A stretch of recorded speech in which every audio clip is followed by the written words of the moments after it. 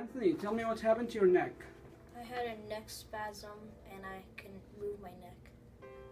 So, what kind of symptoms you had three days ago? I had a stiff neck and I could not move it, and my uh, and my shoulder like was really numb. So, can you show me um, your neck? What's look like three days ago? Were you able to move your neck? How much pain you, you experienced three days ago? ten, Ten.